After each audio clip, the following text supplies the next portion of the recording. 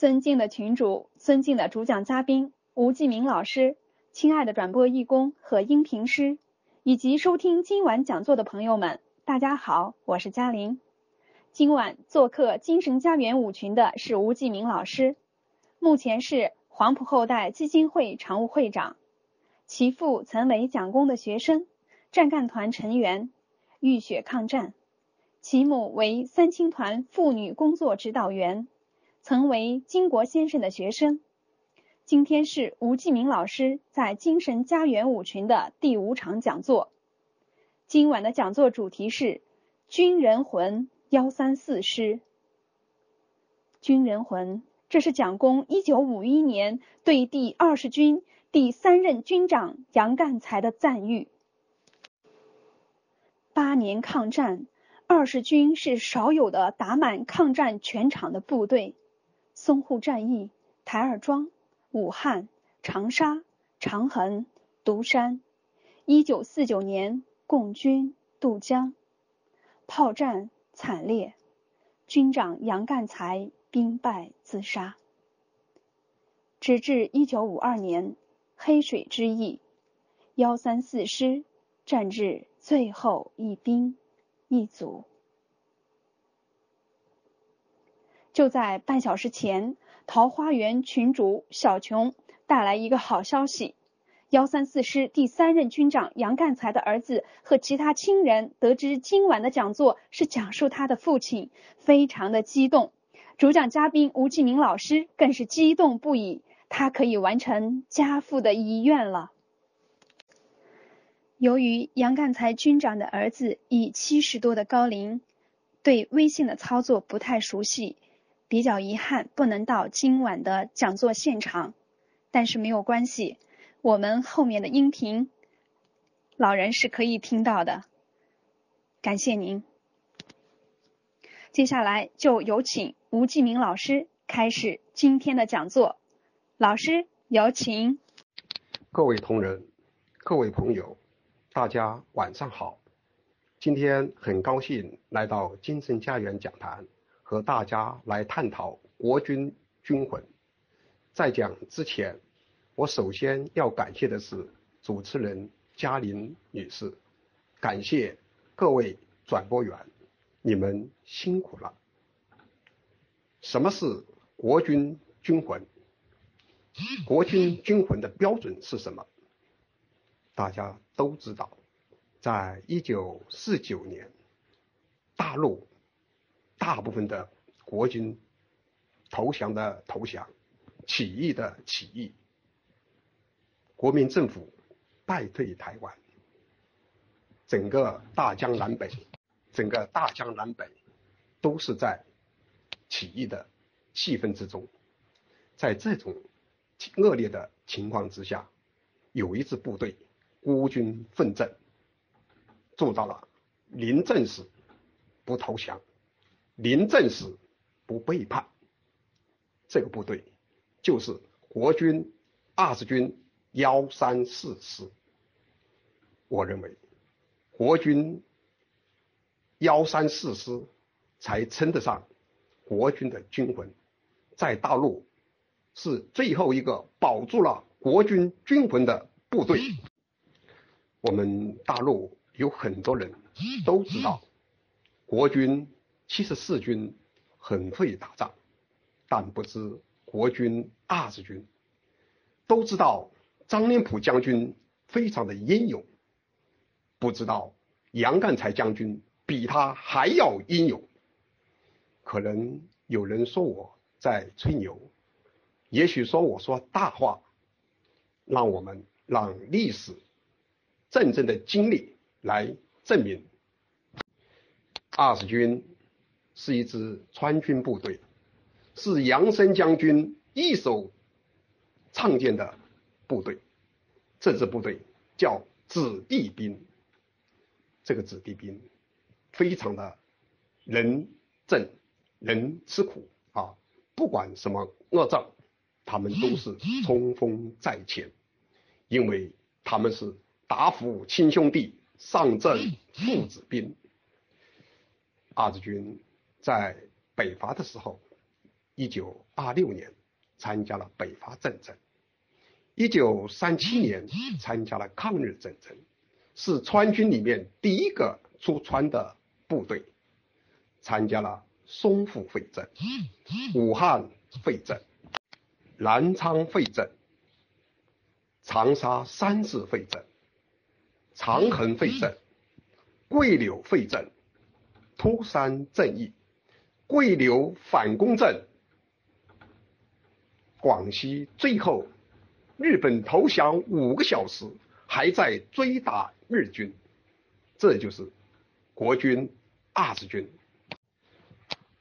呃，在抗战结束以后，二十军参加了抗乱，共产党叫解放战争，国民政府叫抗乱战争。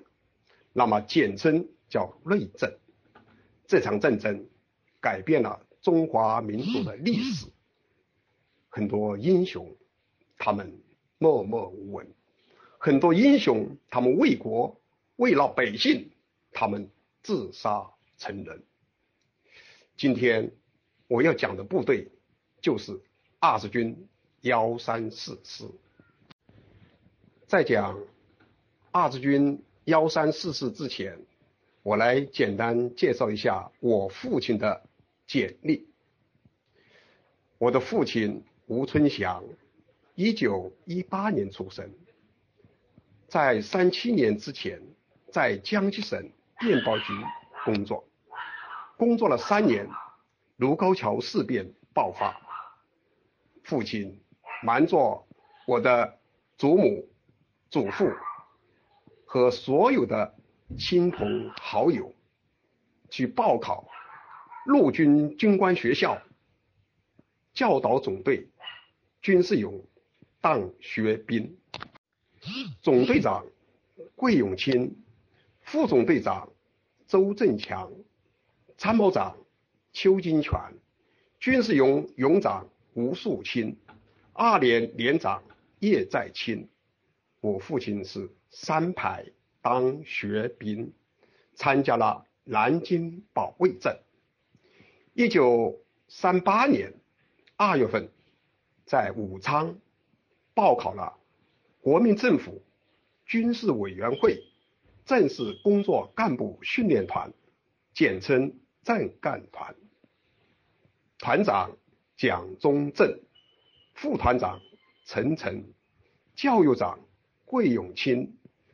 政治总教官邓文义，军事总教军事总教官王公亮，总队长杨厚才，副总队长邓文喜，邓呃叶在清，二大队大队长说本勤，副大队长向斌，八纵队队长安福国。我父亲在八中队当学员。一九三八年的三月一号开学典礼，六月一号升学典礼，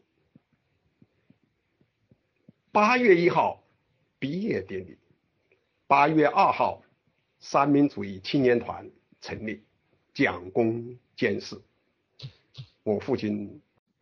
我父亲在政干团受蒋公四次训话，九月份被分配到广东省梅县五区训练高中、大学军训，是区里的分队长，总队长杜宽。一九三九年的三月份。到重庆部队三十六军第五师十五团一勇二连三排做少尉排长，军长姚纯，师长刘刘彩婷，师长刘彩婷，团长袁子龙，参加了昆仑关战役。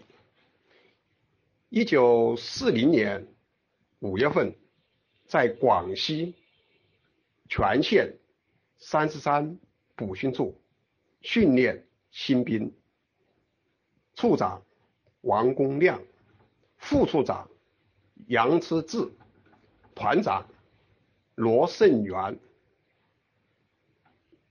呃，三年的连长宁卓仁，我父亲做中尉啊少尉指导员，少尉指导员，在这里啊。呃，训练新兵有两年，一九四二年五月份到湖南平江，平江到二十军，二十军幺三四师四八团二勇五连，任中尉指导员，军长杨汉义，师长。杨干才，团长向文斌，勇长张新菊。我的父亲在二五勇啊五连啊五勇啊做中尉指导员。呃，在一一九四四年二月到五月份，在九镇区。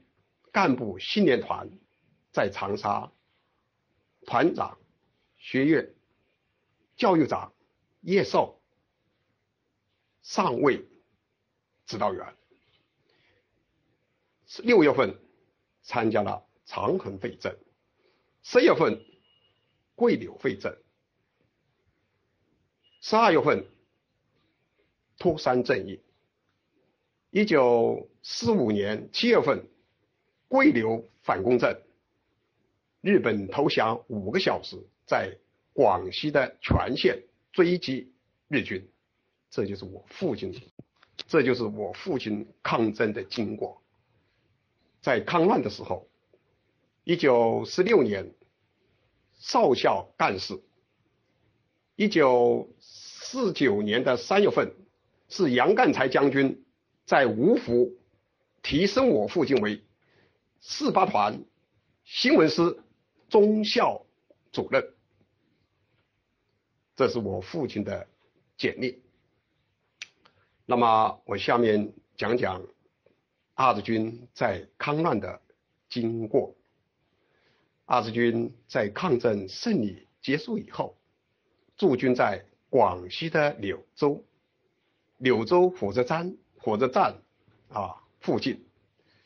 到了一九四六年的，到了一九四六年的十一月份，得到军令，要二十军到山东去抗乱。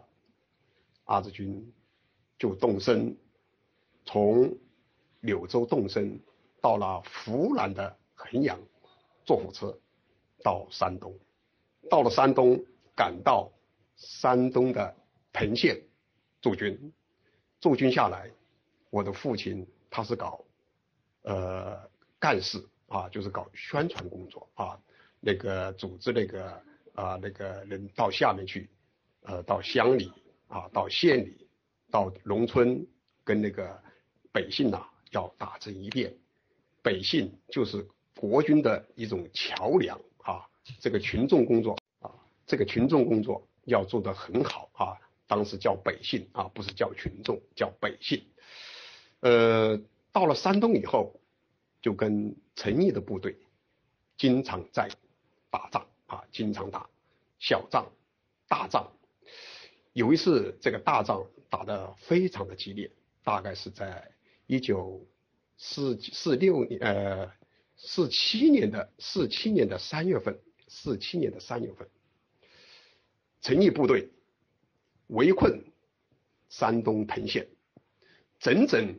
打了一个星期，二十军他只有两个师，一个是幺三三师，一个是幺三四师，他不是中央军，中央军中央军他都是三个师，川军他只有两个师，那么这两个师守在山东的滕县，跟陈毅的部队，啊，大家都知道陈毅属于。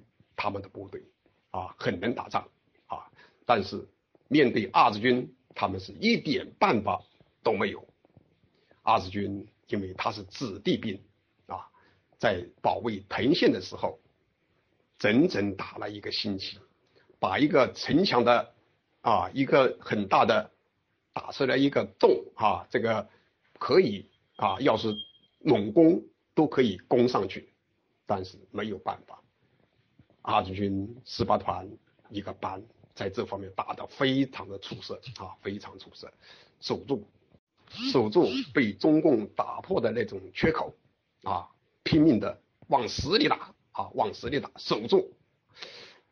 中共他们很善于打人海战术，很善于打人海战术，打了整整一个星期没有打下来，他们撤退了啊，撤退了。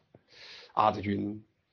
军长杨干才非常的高兴，召集全军大会，表扬这个守住呃城墙的那个班，这个班长他姓杨，叫杨班长，在全军会上提升他为少尉排长。我的父亲为了这场战争写了一份报道，题名是“一马当先”。这个报道在。守住被中共打破的那种缺口，啊，拼命的往死里打，啊，往死里打，守住。中共他们很善于打人海战术，很善于打人海战术，打了整整一个星期没有打下来，他们撤退了，啊，撤退了。二十军军长杨干才非常的高兴，召集全军大会，表扬这个守住。呃，城墙的那个班，这个班长他姓杨，叫杨班长，在全军会上提升他为少尉排长。我的父亲为了这场战争写了一份报道，题名是“一马当先”。这个报道在从排长到团长都要四川人啊，所以四川人在这方面。非常的团结啊！这个士兵都是家乡人啊，除了外都是异乡的一样的，所以叫四川二十军叫子弟兵啊，子弟兵很会打仗，因为他们不怕死，他们非常的勇敢啊。呃，川军的二十军他们的待遇也非常的好，因为杨森将军对二十军是他一手栽培起来的。由他一手直接而指挥的二十军，到了一九四七年的五月份，接到了上级的命令，要二十军到河南去参加抗乱。二十军从彭县出发，到了河南，到了河南是哪些？呃，县市是渑池县、南阳、洛阳、新野、驻马店、确山、信阳，河北啊湖呃湖北市咸阳、樊城这一带追啊追中共呃开战啊，当时因为他们是叫啊呃剿匪。啊，剿匪啊，呃，打的第一个部队就是孔崇周，这个孔崇周他过去是西北部队，他在四七年的时候，啊，在四六年他就投靠了啊，呃，中共的部队啊，按照中共来讲就是起义了啊，起义了。那么二十军提出了一个口号，追打叛军孔崇周。啊，追打叛军孔崇周，从呃五月份一直打啊，打到几月份才把孔崇周呃这个部队所消灭，打到四七年的十二月份。啊，四七年，呃，打到四七年的一十二月份，逢山过山，逢水过水，猛追猛打，这个孔崇周的部队就把他彻底的消灭了。啊，消灭了。他把他的再也没有出来过啊，再也没有出来过。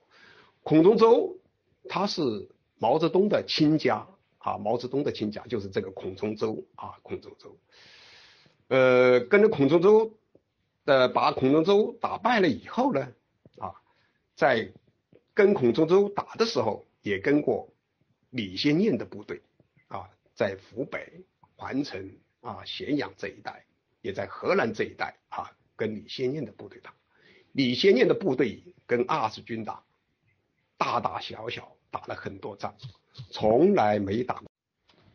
呃，李先念的部队从来没打过一次胜仗，一直是打败仗。所以二十军跟李先念的部队起了一个外号，叫“逃跑将军”。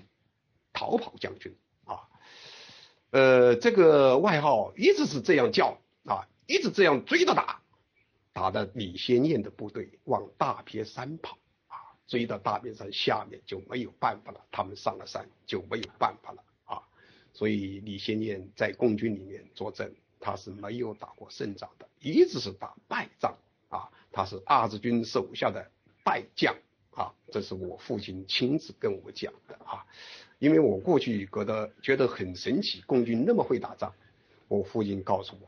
胜败是兵家常事啊，兵家常事，所以他把这个呃抗乱的经过啊详细的告诉了我，呃，所以我父亲把这个详细的经过告诉了我，呃，在一九四八年的二月份，二十军驻军在河南的敲山啊敲山县。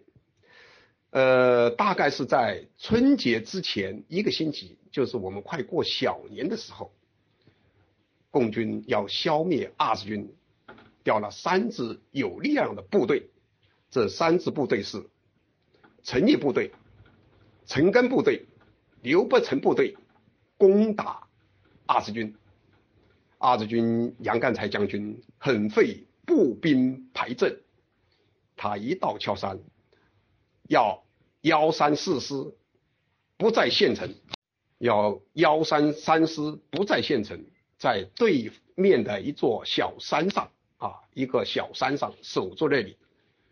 幺三四师和军部在县城，在三十晚上的前一天，三支部队围攻二十军，这场战争打得非常的惨烈。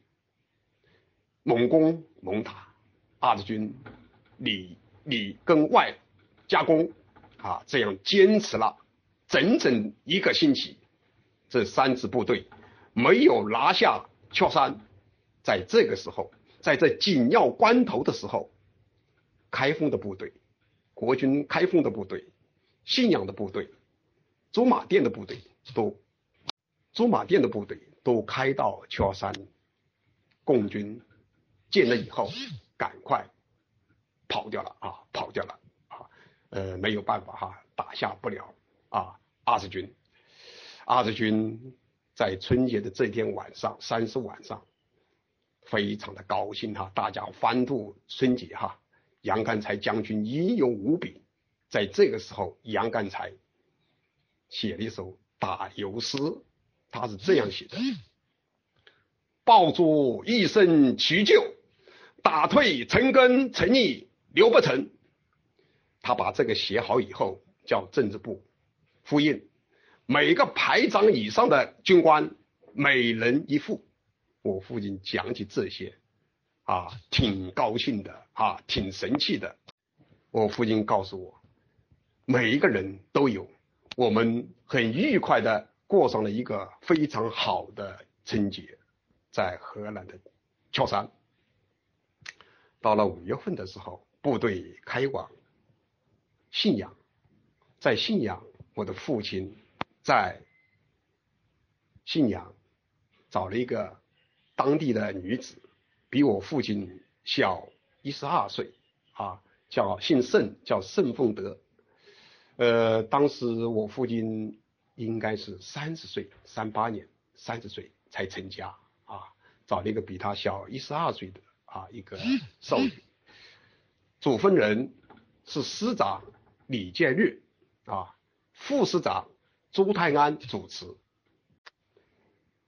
当地的百姓为这对啊婚姻啊奔走相告，都很高兴啊，因为老百姓啊，我父亲是这样描述的：共军说我们对老百姓不好，实际上我们国军是爱护老百姓，因为我们在学呃军呃在政干团的时候，教教官就讲了，父母、叔叔、伯伯都是百姓，我们就是要。爱百姓，所以说每一个士兵军官，他的后面都有六个字：爱国家，爱百姓，就是这样。我父亲成家以后，啊，呃，这个呃夫人没有随军，没有随军，因为当时在行军打仗啊，呃，一直在河南范围啊。跟中共的部队交战，共军一直没有消灭二十军，二十军一直是追打，不管是哪里啊，都是追打。有一次啊，有一次啊，幺三三师被中共的军队围住了，师军长杨干才，呃，得到这个指呃信息以后，马上命令幺三四师四八团。去解围，轻装上阵，火速赶呃赶到战场。呃，为什么要派四北团去呢？因为四北团的团长姓陈，因为四百团的团长姓陈，叫陈之远。幺三四师的师长叫陈志成，他们是亲兄弟，所以答复亲兄弟上阵父子兵，团长。陈志成带着四八团轻装上阵，追到战场，共军马上就跑掉了啊，跑掉了，把幺三四师解围出来了，所以二十军就是一张这样会打仗的一个部队，敢冲敢杀啊，在战场上不留情面啊，呃，杨干才将军很会。步兵排阵啊，这是我父亲讲的哈。杨干才将军很会步兵排阵，呃，打仗并不是说靠你英勇啊，还要会步兵排阵啊，这是非常重要的啊军事方面的啊事情。呃，过去我对这个啊根本是一点不懂啊，父亲告诉我步兵排阵非常重要，要是在秋山杨干才将军步兵排阵不好的话。可能全军就完了啊，在一九四八年就完了啊。呃，到了十二月份的时候，得到了上面的啊是指令，要二十军赶到安徽的啊去援助增援，是十二兵团王威兵团，中共叫淮海战役，国军叫徐蚌会战。二十军从河南到湖北，从湖北坐船到南京的下关啊，到南京的浦口，南京的浦口，赶到安徽蚌埠啊，到了那里以后，看到那个正常的场面，是根本的进都进不去了。为什么？里三层外三层，所有的公路。全部破坏啊！你根本进去不了。在这种情况之下，啊，呃，军事委员会啊，又把又把二十军调回到南京来啊，又调回到南京来。所以在淮海这一，二十军进去不了啊。可能要是进去了，也会像包饺子一样，呃，也会像包饺子一样，像被共军而包围和歼灭。所以。军事委员会要二十军火速的退到南京来。到了一九四九年的一月份，啊，赶到了南京。一到南京就住到总统府啊，那个总统府当时已经啊迁到广州去了。总统府它是一个空城啊，一个空呃空的啊。二十军住在那里。二十军在总统府啊，整整做到一直过完了春节啊，过完了春节。到了一九四九年的三月份，部队要开往芜湖，守长守长江，守长江。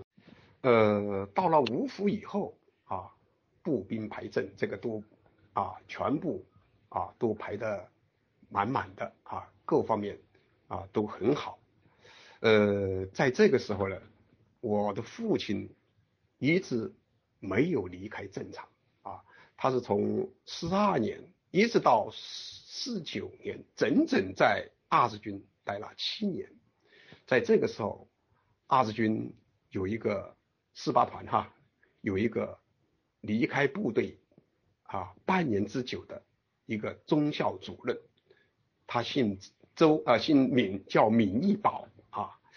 呃，杨干才将军到四八团，就是幺三四师四八团来视察工作的时候，发现，呃，发现了新闻师主任闵义宝不见，大发雷霆，在经济这么啊呃紧张的时候，怎么能离职啊，脱岗离职啊啊，离开军营啊，这个要追查他的啊责任。马上陈志远团长。啊，四八团的团长就像，呃，杨干才将军讲，这位吴干事在我们团整整待了七年，从来没有离开军啊，我们团一步。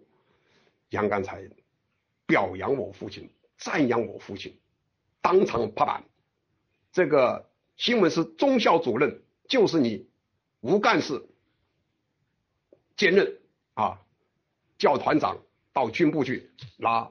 叫团长到军部去拿任命状啊！我父亲啊，我问他，你当时升了一级，你高兴吧？他讲肯定高兴的。做军人，人升一级的话，你知道多难呐啊！肯定是非常高兴。杨干才将军在团部和这些军官、下级军官啊，大家在一起啊，呃，探讨守江的。啊，这个守长江这个不作战计划啊，到了晚上，共同很啊没有价值的跟这些下级军官在一起吃饭啊吃酒。我父亲敬杨干才将军两杯酒，我父亲非常感谢杨干才将军的栽培。杨干才将军在我父亲的影响里，他是一个非常优秀的将军，身材高大。魁梧啊，呃，有一种军人的一种神气啊，呃，杨干才将军，他，我父亲跟着他是从在湖南的，因为一直那个时候杨干才在抗震的时候，他是一个呃师长，是幺三四师的师长啊，所以一直跟着杨干才啊，对杨干才啊，呃，很了解啊，跟杨干才。他总共在一起只吃过两次饭啊，只吃过两次饭啊，呃，他是非常的一种感到荣幸啊，感到荣幸。呃，在这方面呢，我要谈谈我的父亲。呃，我的父亲啊，当了呃新闻室主任以后啊，快到三月底的时候啊，快到三月底的时候，我的。我父呃，我父亲的那个夫人呐，和他的舅老爷到了芜湖，到了二子军来找我的父亲。那个时候已经挺了一个大肚子啊，挺了大肚子。呃，到了月底的时候，到了那个三月底的时候啊，知道了真正的马上要打响啊，马上要打响。呃，团部叫这些家属。啊，随军家属赶快到军部，到军部全部到后方，到哪里去？到四川的重庆，因为四川的重庆就是二十军的大本营啊，大本营。我父亲把啊他的夫人送到军部，啊，就到了团部来啊，呃，到了四月二十号啊，大概在二十号的晚上，突然。枪声大作，发现前面一个军这个枪声之中，前面一个军，这个军因为是国军的守地，怎么那里有枪声？知道了，那是那里已经起义了，国军一个部队起义了，跟中共的部队里应外合对付二十军。在这种情况之下，二十军被他们打得措手不及。呃，打到二十一号的晚上，下达命令突围，啊，要突围。呃，当时突围出来的有幺三四师的师呃副师长，姓景，叫景家茂啊。幺三四师的师长李建日、朱泰安被捕，啊，被俘。呃，团长陈志远被俘，副团长。文文学来被战死，我的父亲脱围成功啊，脱围成功。我的父亲讲了一个这样的插曲：我们往那边冲的时候啊，看到对方啊那个枪啊，这个子弹呐，这个子弹呐是望天空打的，他们知道这可能是起义的部队，没有向自己的。的部队开枪啊，向天上开枪。可能我父亲也许这个啊命运，他的呃命大福大，只能这样讲吧啊，他就碰到了这样好的事，所以我父亲他颇为成功啊，颇为成功的啊。呃，军长杨干才后来听说在芜湖战场自杀成人。英雄，真正的英雄，杨干才将军，他知道，他跟中共作证，啊，中共也知道杨干才，啊，这个人是非常的啊，按照中共来讲是非常的啊，呃，恶劣啊，按照中共来讲啊，但是按照我们国军来讲，他是非常的英勇无比啊，英勇无比。所以说，杨干才将军自杀成人，成为千古的佳话啊！作为军人，都应该向杨干才将军学习啊！杨干才将军，蒋公追认他为上将，张灵甫还是中将。呃，突围成功以后，二十军可以这样讲，叫灭顶。之灾啊，灭顶之灾！我的父亲从呃芜湖一直步行到了我们江西的老家。我的父亲从三七年离开江西，第一次到了自己的家里。五月份赶到家里，一九四九年的五月份赶到家里以后，中共的解放军已经占领了南昌县。我们五阳乡都驻扎在解放军，我父亲知道解放军，解放军也知道我父亲，啊，但是不会动手。我问我的父亲，他怎么不动手抓你们呢？呃，我父亲告诉我，不会的，因为他们没有建立政权，当时的政府还是中华民国，乡政府还是过去的啊乡长啊，所以没有动。啊，中共在这方面他玩得很漂亮啊！当时杨志之啊，呃，老长官也在家里，杨志之老长官他家里就住住了中共的工作组，就在上面。杨志之很成功的，他逃离了大陆，到了好台湾，成功的到了台湾。我的父亲也离开了自己的家乡。去找自己的部队，二十军啊，从江西的从江西的樟树到金安，金安是国军的部队啊，在樟树这边全是中共的部队。到了金安以后啊，从金安到株洲，湖南的株洲，到了株洲，呃，二十军在那里收容。二十军的部队，收容二十军的部队。啊，我二十军，我父亲马上就去报道啊，归队啊，叫归队，就一直到了重庆。到了重庆，杨森将军重建二十军，增加了一个突利师，师长向文斌，幺三幺三三师的师长景家茂，幺三四师的师长肖传仁，啊，六月份成立啊，六月份重新组建，组建以后啊。用军训啊，呃，到了一九四九年的十二月份啊，十二月份得到了命令，二十军要到四川的万县去救抗乱总指挥宋希濂上呃将军，二十军幺三四师步行从。广安，啊，动身啊，从广安走过去，呃，从广安走过去以后，到了，呃，四川的谢峰县，被共军拦截。幺三四师师长肖卓仁命令四八团团长梅国清守住，让四百零一、四百零二团。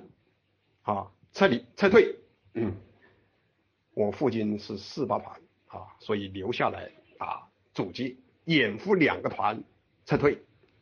当时打得很激烈，呃，杨干才呃，肖传仁将军，肖传仁将军马上啊从那边走过来，对着这些士兵讲，很潇洒的讲，呃，非常潇洒。而且一点都没有战争的那种紧迫感和危险感，他是这样讲的：打仗好玩吧？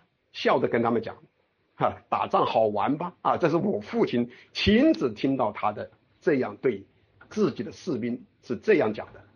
他带着他的两个团撤退。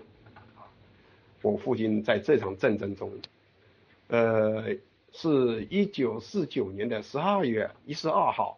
在谢峰啊，呃，打阻击的时候是五点钟，打的大概到了六点多钟，共军越打越多，越打越多啊，呃，团长梅国清啊，他跑掉了啊，跑了，呃，副团长啊，呃，罗亚兰和我父亲，呃，罗亚兰和我父亲，还有一个卫生连的连长。被俘，被俘，士兵被俘，呃，军官只有这三位，其他的因为都是四川人，他们对山路很熟悉，啊，跑掉了，啊，跑掉了。呃，当时二军军的军长啊是杨汉烈，啊，杨汉烈，呃，杨汉烈呢到了成到了成都那边啊，他宣布起义啊，大概是在。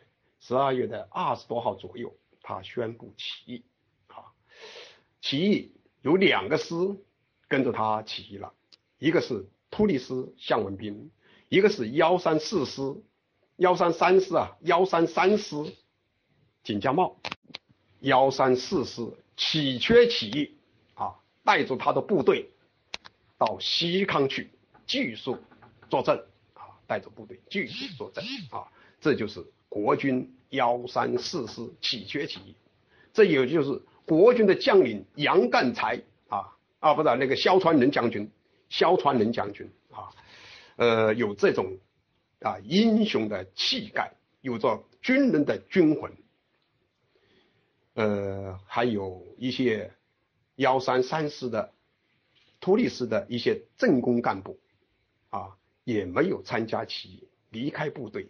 到西康去投奔肖传仁将军，这个是我父亲他被俘了，他又是怎么知道的呢？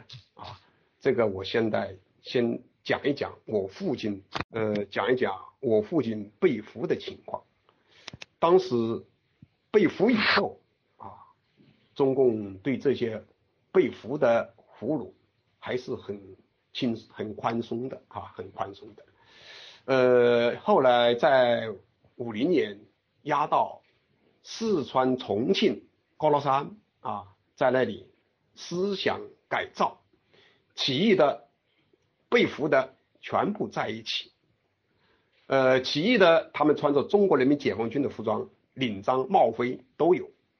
那么被俘的也是穿着军啊，中国人民解放军的服装，没有领章、帽徽，就是这种区别啊。这个这种区别，呃，很轻松啊，看的不是那么严。呃，在那里面主要是中共给这些人洗脑啊，洗脑。呃，每个星期可以出去理发、洗澡、看戏啊，可以啊，在可以，可以跟外面写信，也可以回信。所以我父亲啊，在高乐山。啊，他写了一封信给他的啊呃在正干团的同学啊，姓名叫明义宝，就是过去做过四八团的啊这个呃中校主任，他的老婆在重庆啊在重庆，就问他你家的先生现在怎么样？他回了封信，我家的先生在西康做生意很好。啊。他一讲这样的话，我父亲就知道了，这些啊军政干部就是过去政干团的学生哈，他们到了西康啊，到了西康，因为这些政干团的学生，他们都是有信仰的啊，有理念的啊，这些人跟一般的军人他们是不同的，是这样，所以呃，很多政干团的学生在西康跟。肖春仁将军并肩作战啊，并肩作战。到了五零年啊，我的父亲看到《重庆日报》啊，重庆登的报纸报道了二十军幺三四师在西康作战的情况，上面写的很清楚。肖春仁将军，肖春仁将军被中共击毙，王进喜将军做担架。指挥血阵。啊，血阵哈，当然肯定是血阵哈，当然中共他不会这样写，所以他们这个番号，从一九五零年的五月份，肖传仁将军、王进喜将军在战场上为国英勇牺牲啊，为国英勇牺牲，他们做到了临阵时不投降，临阵时不背叛的。国军的保住了国军的军坟，这就是我们的国军将士。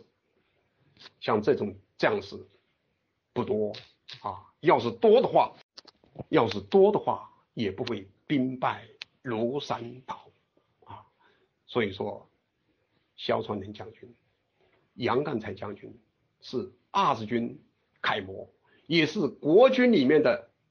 军魂，他们两位将军代表了国军的军魂，不像很多投降起义、见风使舵的这些起义将官，他们可以这样讲，叫识时务者为俊杰，这叫识时务吗？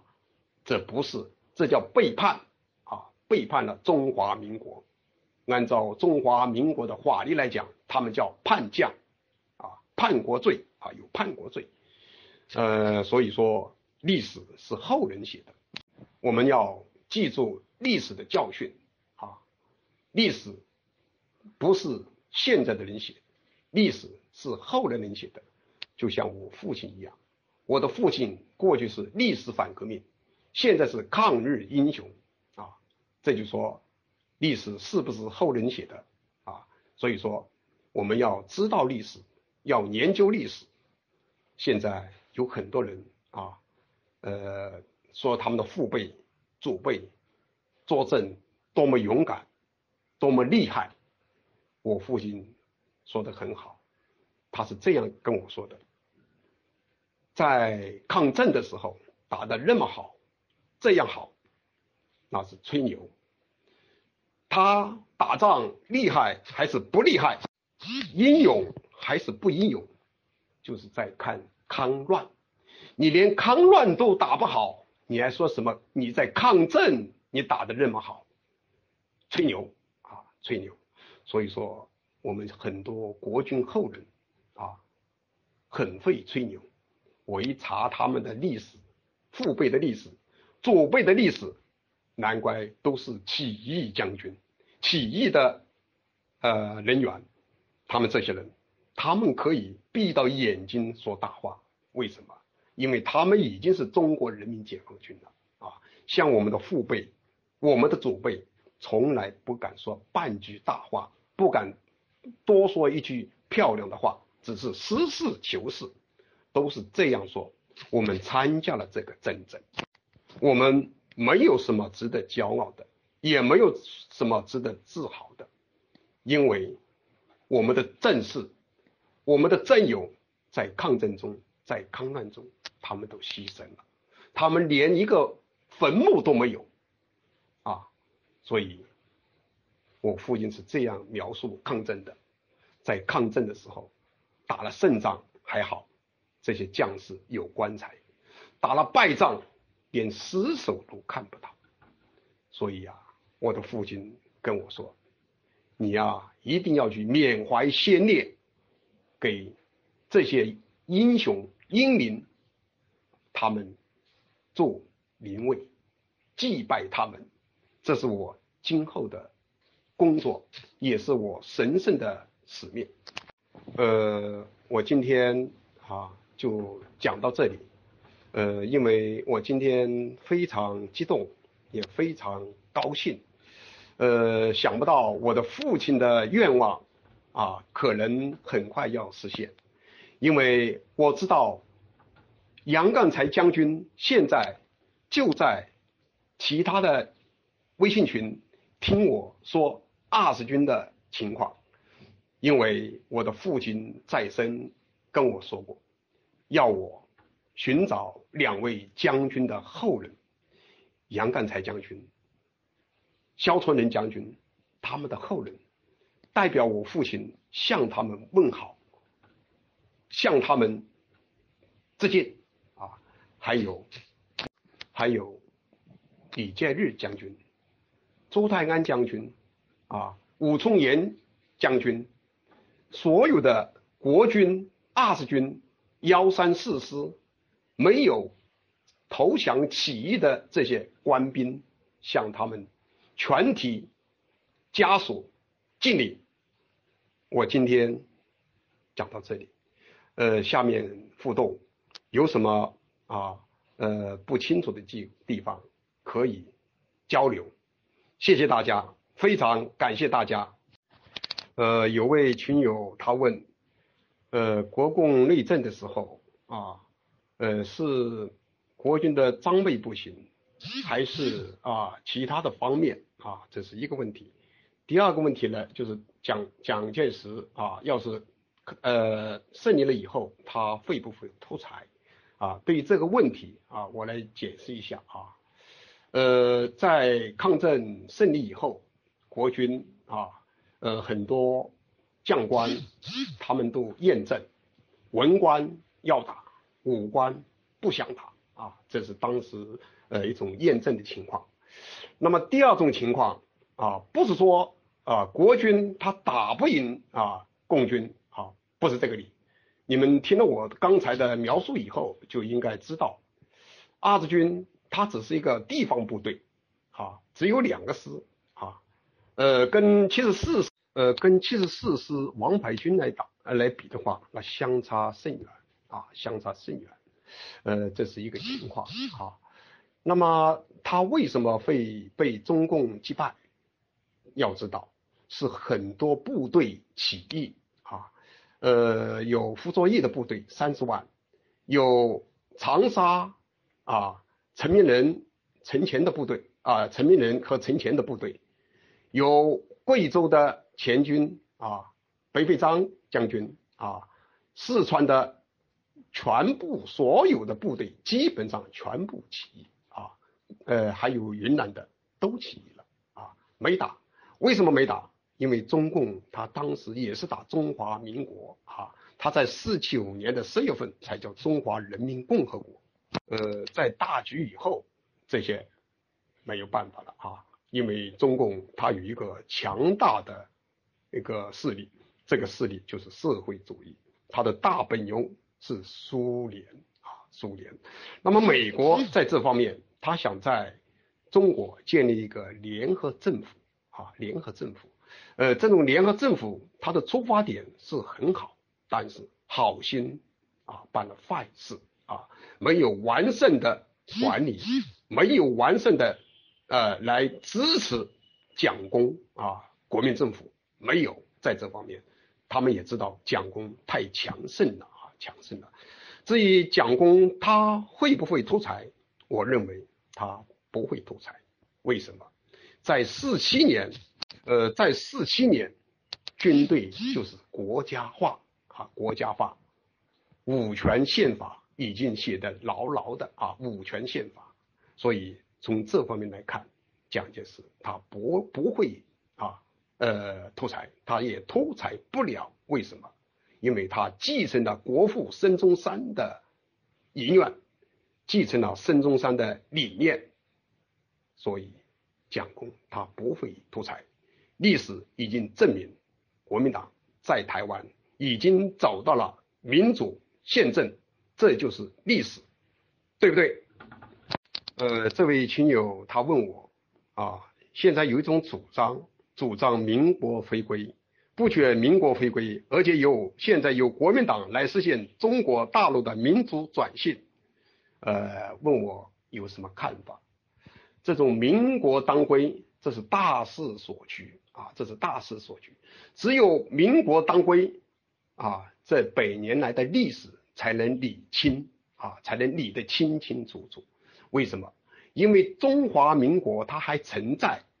当时中国共产党他们是推翻蒋家王朝，打倒国民党反动派，他没有说推翻中华民国啊，这是一个历史的啊事实啊，这是历史的事实。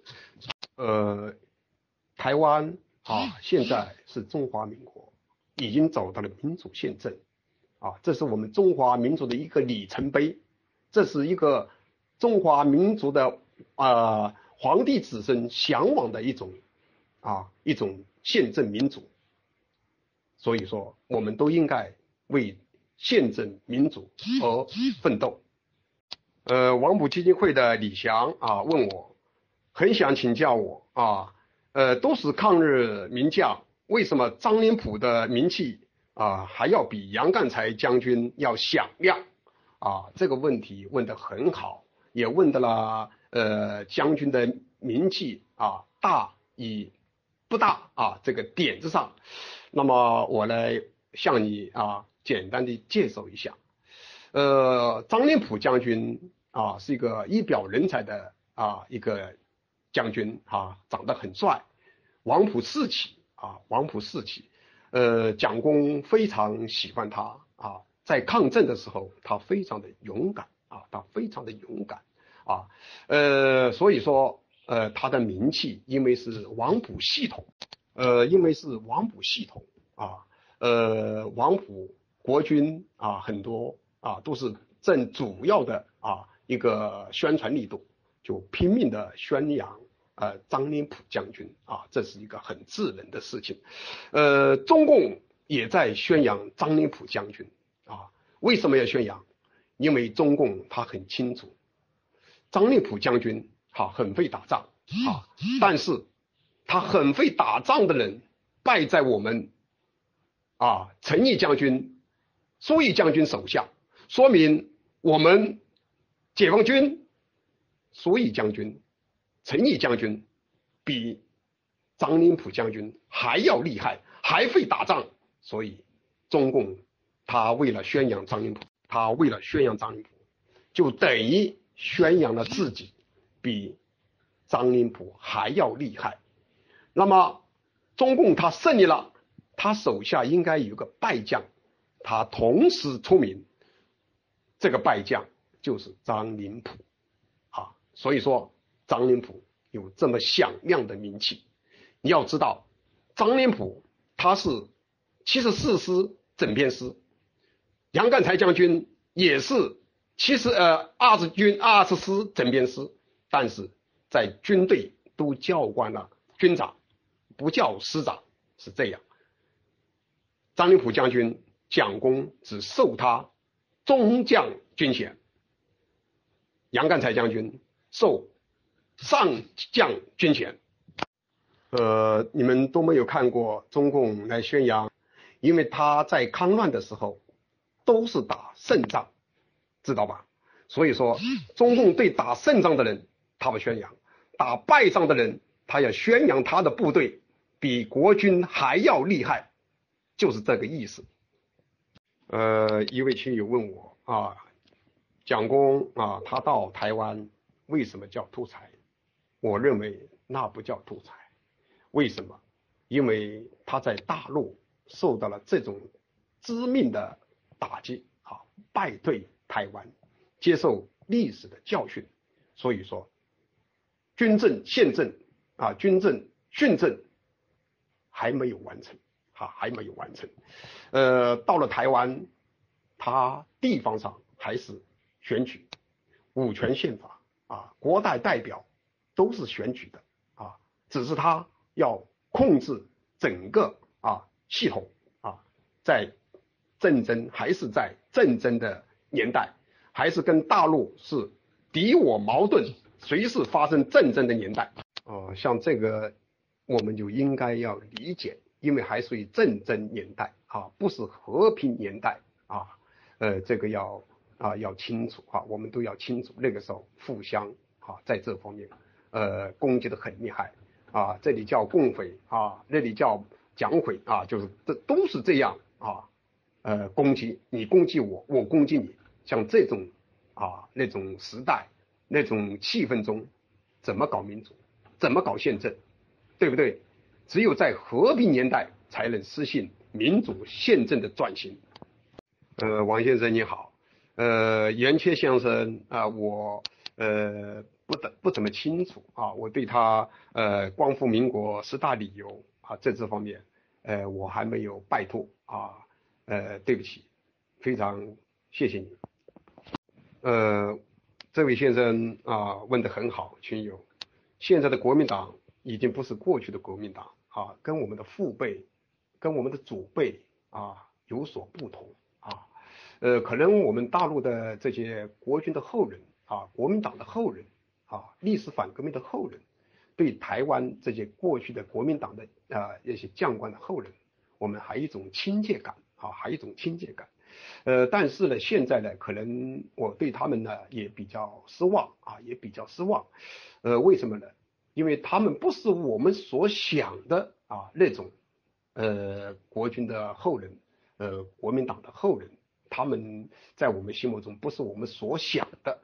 可能跟我们这个地理环境有关系，因为我们的父辈、我们的祖辈，呃，我们的父辈、祖辈在大陆啊，有的是被镇压啊，有的是坐牢啊，有的是吃苦啊，直到死啊都没有看到一种希望啊，呃，所以跟台湾的那些国军将士有所不同，他们都过着中产阶级的生活。他们都高枕无忧啊，所以他们是在那种环境下来啊，他们的心理状态跟我们有所不同。呃，他们对大陆也不是很了解啊，也不了解。呃，就比方说吧，啊，像我们啊国军里面的很多有一些是呃起义了的啊，已经参加了中国人民解放军的后人啊，也跑到台湾啊，和过去的国民党的呃。大佬啊，国防部长啊，和过去的国防部长啊，郝柏村先生啊，呃，这些起义的后人，他们到台湾去，还可以合影留念，还可以跟他们合影留念，呃，使我们这些啊，呃，国军的后人啊，历史反革命的后人看得过去，实际上是一种很大的失望啊，他们很多连啊一点立场啊都没有了哈。所以说他们的思想已经变了啊，已经变了。所以，呃，我们啊国军的后人呃历史反革命的后人啊，对这个台湾呐，现在呃这些将官呐，他们的后人也感觉到无所谓了啊，已经无所谓了。呃，我王先生他讲啊，民国回归统一中国实行宪政的可能的路径是怎样？呃，这个路啊，我自认为是这样哈，因为现在台湾已经走到了民主宪政啊，现在大陆还是一党执政啊，在这方面一党为大啊，一直这样走过来，从四九年到现在啊都没有变动一下。呃，台湾已经呃政党轮替啊，已经从陈水扁到马英九，现在从马英九又到。呃，蔡英文啊，他们已经是政党轮替啊，这也是一个很好的啊，中国的一种呃发展的方向啊。呃，我是这样认为哈，因为中华民国还健在啊。呃，作为大陆的很多搞民运的，呃，大陆很多搞民运的啊，呃，有各种各样的思想啊，我认为在这个民主圈里面哈，有一种思想的混乱啊，混乱。呃，还理不出一个呃秩序啊，一个呃个呃一个条理出来啊，都是各讲各有理啊，各讲各有呃方法啊，显示出各有各的才华。实际上这是一个很不好的现象啊，这对这个中华民族的统一啊，这也是一个很大的绊脚石啊。呃，实际上统一啊，我们中国有句老话啊，人在曹营心在汉啊。要是大家的思想都统一在“人在曹营心在汉”的这个思路的话，我相信统一不会要很长的时间。呃，王埔后代基金会的李祥问哈，枪杆子里面出政权，呃，确实不错啊。过去是这种枪杆子里面出政权，那么枪杆子里面出去政权，它是会出现一种霸道啊，叫霸道啊，不是王道。啊，我们要认清霸道与王道哈，炎王子孙是霸道，我们皇帝子孙是皇道啊，要搞懂这一点哈。那么现在历史已经走到二十一世纪来了啊，大家全世界都在走民主宪政啊，都在走民主宪政，一人一票啊，以票来选出国家最高领导人啊，现在已经指明了这个方向。现在枪杆子里面出政权，枪杆子里面出政权，这是不错的。但是枪杆子里面出灾难